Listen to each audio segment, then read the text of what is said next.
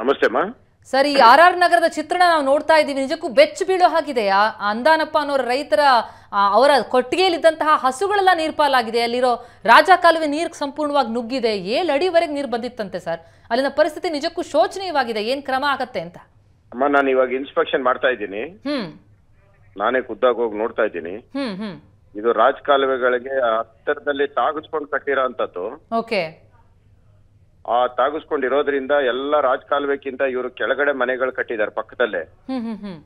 ಇದನ್ನ ನಾನು ನೋಡ್ತೀನಮ್ಮ ಈಗ ಅಲ್ಲಿ ಮುಂದಕ್ಕೆ ಇದನ್ನ ಯಾಕಂದ್ರೆ ನಮ್ಗೆ ಈ ಸಾರಿನ ಇಷ್ಟೊಂದು ಮಳೆ ಬಂದಿರೋದು ನಮ್ಮ ಕ್ಷೇತ್ರದಲ್ಲಿ. ಇಷ್ಟು ಎಲ್ಲಾ ಕಡೆ ಬಂದಾಗೆಲ್ಲ ಸಾಲ್ವ್ ಮಾಡ್ಕೊಂಡ್ ಬರ್ತಾ ಇದೀವಿ ಹ್ಮ್. ಯಾಕಂದ್ರೆ ಇದು ರೆವಿನ್ಯೂ ಪಾಕೆಟ್ ಹೆಚ್ಚಾಗಿ ಸೇರ್ಕೊಂಡಿರುವಂತ ಪ್ರದೇಶ. ಇದನ್ನ ಹೋಗಿ ನಾನು ನೋಡಿ ಇನ್ನು ಮುಂದಿನ ದಿನಗಳಲ್ಲಿ ಇದು ಯಾವ್ದು ಈ ರೀತಿ ಆಗದೆ ಇರೋ ತರ ಏನ್ ಬೇಕೋ ಅದನ್ನ ನಾನು ನೋಡ್ತೀನಮ್ಮ.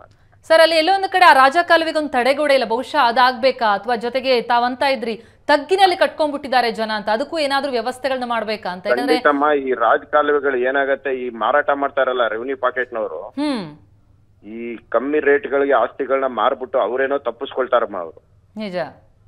ಅವರು ಜಾಗಗಳನ್ನ ಮಾರ್ಬಿಟ್ಟು ಹೋಗ್ಬಿಡ್ತಾರೆ. ಪಾಪ ಇವರು ಮಧ್ಯಮ ವರ್ಗ ಬಡವ್ರು ಏನ್ ಮಾಡ್ತಾರೆ ಇವ್ರ ಪಕ್ಕದಲ್ಲಿ ಯಾವ್ದೋ ಒಂದು ಜಾಗ ಸಾಕ ಸಾಕೊಂಡ್ಬಿಟ್ಟು ಕಟ್ಕೊಂಡ್ಬಿಡ್ತಾರೆ. ಇಂತ ಮಳೆ ಬಂದಾಗ ಅನಾಹುತಗಳಾಗತ್ತೆ. ಹ್ಮ್. ಆದ್ರೂ ಅವ್ರ ರಕ್ಷಣೆ ಕೊಡ್ಬೇಕಾಗಿರೋದು ನಮ್ ಡ್ಯೂಟಿ ಅದು ನಮ್ ಕರ್ತವ್ಯ ನಾವು ಮಾಡ್ತೀವಮ್ಮ. ಯಾಕಂದ್ರೆ ಅಲ್ಲಿ ಅಪಾರ್ಟ್ಮೆಂಟ್ ಅಲ್ಲೂ ಕೂಡ ಒಂದ್ ಫ್ಲೋರ್ ವರೆಗೂ ಕೂಡ ನೀರು ಬಂದ್ಬಿಟ್ಟಿತ್ತಂತೆ. ಅದೇ ಜಾನುವಾರುಗಳು ಕೊಚ್ಕೊಂಡು ಹೋಗುತ್ತೆ ಬೆಂಗಳೂರಿನಂತ ನಗರದಲ್ಲಿ ನಮ್ಮ ಬಫರ್ ಝೋನ್ ಬಿಟ್ ಕಟ್ಟಿದ್ರೆ ಏನು ತೊಂದರೆ ಇರಲ್ಲಮ್ಮ. ರಾಜ್ ಕಾಲುವೆ ಆ ತಡೆಗೋಡೆ ಮೇಲೂ ಮನೆಗಳು ಕಟ್ತಾರೆ. ಆ ತಡೆಗೋಡೆನೂ ಬಿಡೋದಿಲ್ಲ. ಅದ್ರ ಮೇಲೂ ಸೇರ್ಸ್ ಕಟ್ಬಿಡ್ತಾರೆ. ನಿಜ. ಬಹಳಷ್ಟು ಸಾರಿ ನಾವ್ ಹೇಳ್ತೀವಿ ನಿಮ್ಮ ಅಟ್ಲೀಸ್ಟ್ ಒಂದ್ ಒಂದ್ ಐದಡಿ ಬಿಟ್ ಕಟ್ರಿ ರಾಜಕಾಲುವೆಗಳಿಗೆ ಅಂತಂದ್ರು ಅದ್ರೂ ಕೇಳೋದಿಲ್ಲ. ಹೋಗಿದೆ ತಡೆಗೋಡೆನು ಸೇರ್ಸಿ ಆ ಗೋಡೆ ಬಿದ್ದಾಗ ಇವ್ರ ಮನೆ ಬೀಳುತ್ತೆ. ಆವಾಗ ಏನ್ ಮಾಡ್ತಾರೆ ರಾಜಕಾಲುವೆ ಮಳೆ ನೀರಿಂದ ನಮ್ಮನೆ ಬಿದ್ದೋಯ್ತು ಅಂತಾರೆ. ಆದ್ರೆ ಬೀಳೋದು ರಾಜಕಾಲುವೆ ತಡೆಗೋಡೆ ಮೇಲೆ ಮೂರ್ ಮೂರ್ ಫ್ಲೋರ್ ಕಟ್ತಾರಮ್ಮ ಇವರು. ಅದನ್ನ ತೆಗಿಯಂಗೂ ಇಲ್ಲ ನಾವು ಚರಂಡಿ ಕ್ಲೀನ್ ಮಾಡಕ್ಕೂ ಆಗಲ್ಲ. ಒಳಗಡೆ ಹೋಗಕ್ಕೂ ಆಗಲ್ಲ ಅಂತ ಪರಿಸ್ಥಿತಿ ತಂದಿಟ್ಬಿಡ್ತಾರೆ ಎಲ್ಲೋ ಒಂದ್ ಕಡೆ ಪರ್ಮಿಷನ್ ಕೊಡುವಂತ ಸಂದರ್ಭದಲ್ಲೂ ಕೂಡ ಕ್ರಮಗಳಾಗಬೇಕು ಮಾಡ್ತಾರೆ ಈ ರೆವಿನ್ಯೂ ಪಾಕೆಟ್ ಏರಿಯಾಗಳಲ್ಲಿ ಅನಾಥರೈಸ್ ಜಾಸ್ತಿ ಇರ್ತಾವಮ್ಮ. ನಿಜ. ಈಗಾಗಲೇ ಸುಪ್ರೀಂ ಕೋರ್ಟ್ ಡೈರೆಕ್ಷನ್ ಕೊಟ್ಟಿದೆ ಹೈಕೋರ್ಟ್ ಡೈರೆಕ್ಷನ್ ಕೊಟ್ಟಿದೆ. ರಾಜಕಾಲುವೆ ರಾಜ್ ಕಾಲುವೆ ಅಕ್ಕಪಕ್ಕದಲ್ಲೆಲ್ಲ ತೆರವುಗೊಳಿಸಿ ಅಂತ. ತೆರವುಗೊಳಿಸೋದಕ್ಕೆ ಇಲ್ಲಿ ಏನಾಗತ್ತೆ ಅಂದ್ರೆ ಎಲ್ಲ ಬಡವರು ಮಧ್ಯಮ ವರ್ಗ. ಈ ಮಾರಾಟ ಮಾಡೋರು ಏನ್ ಮಾಡ್ತಾರೆ? ಈ ತರ ಬಡವರು ಅವರು ಒಂದು ಬಡತನನ ಉಪಯೋಗಿಸ್ಕೊಂಡು ಇವ್ರು ಎಷ್ಟು ಒಂದಷ್ಟು ಬಂದ್ರಿ ಬಂದಷ್ಟು ಬರ್ಲಿ ಮಾರ್ಬಿಟ್ಟು ಹೋಗ್ಬಿಡ್ತಾರೆ. ನಿಜ. ರೈತ ಕೂಡ ಹೇಳ್ತಾ ಇದ್ರು ಸರ್ ನಮ್ ಜೀವನ ಇದ್ರಲ್ಲೇ ಆಗ್ಬೇಕು. ಐದು ವರ್ಷದಿಂದ ಹೀಗೆ ಆಗಿತ್ತು ಈಗ ಒಂದು ಹೇಳ್ತೀನಿ ಕೇಳಿಮ್ಮ. ಬದುಕೋದಿಕ್ಕೆ ಯಾವ್ದೊಂದು ಜೀವನದಲ್ಲಿ ಒಂದು ಒಂದು ಸಣ್ಣ ನೆಲೆ ಸಿಕ್ಕಿದ್ರೆ ಸಾಕು ಅನ್ಕೊಳ್ತಾರೆ. ಆ ನೆಲೆ ಸಿಕ್ಕಿದಾಗ ಏನಾಗತ್ತೆ ಇವ್ರು ಮಾರಾಟ ಮಾಡೋರು ಅವ್ರನ್ನೆಲ್ಲ ಯೋಚನೆ ಮಾಡಲ್ಲ. ಅಲ್ಲಿ ಹೋಗ್ಲಿ ಅದಕ್ಕೆ ಏನಾರ ತಗ್ಗಿನಲ್ಲಿರೋದನ್ನ ಸ್ವಲ್ಪ ಎತ್ತರ ಮಾಡೋದು ಇನ್ನೊಂದ್ ಮಾಡೋದು ಏನಾದ್ರು ಒಂದ್ ಮಾಡಬೇಕು. ಯಾಕಂದ್ರೆ ಬೆಂಗಳೂರು ಬೆಳೀತಾ ಇದೆ. ಇವಾಗ ಅದರಲ್ಲೂ ನಮ್ಮ ಕ್ಷೇತ್ರ ಬಹಳಷ್ಟು ವೇಗವಾಗಿ ಬೆಳೀತಾ ಕ್ಷೇತ್ರ ಇದು. ನಿಜ ನಿಜ. ಸರ್ ತಾವೀಗ ಎಲ್ಲಿ ಯಾವ ಯಾವ ಕಡೆ ಹೋಗ್ತಾ ಇದ್ದೀರಾ ತಾವೀಗ? ಆಮ ಈಗ ನಾನು ಒಂದು ಮೊದಲೇ ಒಂದು ಪ್ರೋಗ್ರಾಮ್ ಫಿಕ್ಸ್ ಆಗಿದೆ ನಮ್ಮ ಚೀಫ್ ಸೆಕ್ರೆಟರಿ ಅವ್ರ ಜೊತೆಯಲ್ಲಿ. ನಾನು ಮೂರು ಗಂಟೆಗೆ ಅಲ್ಲಿ ಪ್ರೋಗ್ರಾಮ್ ಫಿಕ್ಸ್ ಮಾಡ್ಕೊಂತ ಇದ್ದೀನಿ ಎಂಟೈರ್ ಆರ್ ಆರ್ ನಗರದಲ್ಲಿ ಎಲ್ಲೆಲ್ಲಿ ಇದು ಆಗಿದೆ ಇವತ್ತು ಎಲ್ಲ ಲಿಸ್ಟ್ ತರಿಸ್ತಾ ಇದ್ದೀನಿ ಈಗ. ಹ್ಮ್. ಟೋಟಲ್ ಕಂಪ್ಲೀಟ್ ಎಂಟೈರ್ ಕಾನ್ಸ್ಟೆನ್ಸಿ ನೆನೆ ರಾತ್ರಿ ಹೆಚ್ಚು ಕಮ್ಮಿ ನಾನು ಹನ್ನೆರಡು ಒಂದು ಗಂಟೆಯಿಂದ ಇದೇ ಕೆಲಸ ಮಾಡ್ತಾ ಇದ್ದೀನಿ. ಇನ್ಸ್ಪೆಕ್ಷನ್ಗೆ ಎಲ್ಲೆಲ್ಲಿ ಬರಬೇಕು ಅಂತ. ಹ್ಮ್ ಹ್ಮ್. ಜ್ಞಾನ ಭಾರತಿ ಇರ್ಬೋದು ಆರ್ ಆರ್ ನಗರ ಇರ್ಬೋದು ಕೊಟ್ಟಿಗೆಪಾಳೆ ಮೂರ್ ವಾರ್ಡ್ ಅಲ್ಲೇ ಡ್ಯಾಮೇಜ್ ಆಗಿರೋದು. ಹ್ಮ್.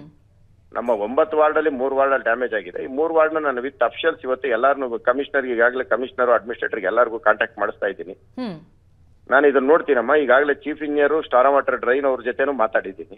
ಈಗ ಅಧಿಕಾರಿ ವರ್ಗ ಅಲ್ಲಿ ಸ್ಥಳಕ್ಕೆ ತೆರಳ್ತಾ ಇದೆಯಾ ಸರ್? ಹೌದಮ್ಮ ಹೌದಮ್ಮ. ಎಲ್ಲಾರ್ಗು ಇವಾಗ ನಾನು ಅದನ್ನ ಎಲ್ಲಾರನು ಕೋಆರ್ಡಿನೇಟ್ ಮಾಡ್ತಾ ಇದ್ದೀನಿ. ಈಗ ನಾನು ಮೂರು ಗಂಟೆಗೆ ನಾನೇ ಖುದ್ದಾಗಿ ಹೋಗಿ ಭೇಟಿ ಮಾಡ್ತಾ ಇದ್ದೀನಿ. ಪ್ರತಿಯೊಂದು ವಿಸಿಟ್ ಮಾಡ್ತಾ ಇದ್ದೀನಿ ಮೂರು ಗಂಟೆಗೆ. ಎಸ್ ಸರ್ ಯಾಕಂದ್ರೆ ಇದು ರಿಪೀಟ್ ಆದ್ರೆ ಎಲ್ಲೋ ಒಂದ್ ಕಡೆ ಇಲ್ಲಮ್ಮ, ಸದ್ಯ ಇಲ್ಲ, ಜೀವ ಹಾನಿ ಆಗ್ಲಿಲ್ಲ ನಿಜಕ್ಕೂ ಕೂಡ ಒಂದು ಆದ್ರೆ ಜಾನುವಾರುಗಳು ಮೃತಪಟ್ಬಿಟ್ಟಿವೆ.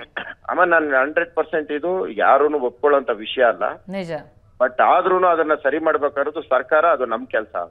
ಎಸ್ ಇದು ಅವರು ತಪ್ಪು ಮಾಡಿದ್ದಾರೆ ಅವರು ಸರಿ ಇಲ್ಲ ಅನ್ನೋ ಹೇಳೋ ಪ್ರಶ್ನೆನೇ ಇಲ್ಲ. ಆ ಬಡವರಿಗೆ ನ್ಯಾಯ ಒದಗಿಸ್ಬೇಕು ಆ ನ್ಯಾಯ ಒದಗಿಸುವಂತ ಕೆಲಸ ನಾನು ಮಾಡ್ತೀನಿ. ಅದರಲ್ಲಿ ಯಾವ್ದು ಹಿಂದೆ ಹೋಗಂತ ಪ್ರಶ್ನೆನೇ ಇಲ್ಲಮ್ಮ. ನಾನು ಅದನ್ನ ಪ್ರತಿಯೊಂದು ಮೂರು ಗಂಟೆಗೆ ನಾನು ಅಲ್ಲಿ ಇರ್ತೀನಮ್ಮ ನಾನು. Thank you thank you so much Munirathna ಅವರ. ಏಷ್ಯಾ ನೆಟ್ ಸುವರ್ಣ ಜೊತೆ ಮಾತನಾಡಿದ್ದಕ್ಕೆ.